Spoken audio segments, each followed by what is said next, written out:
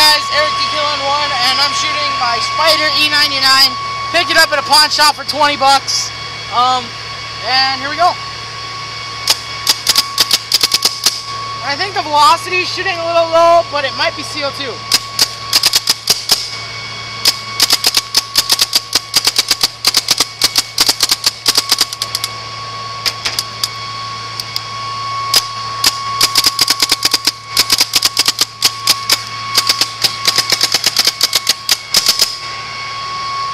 And uh, I like this gun a lot better than my Spyder RT.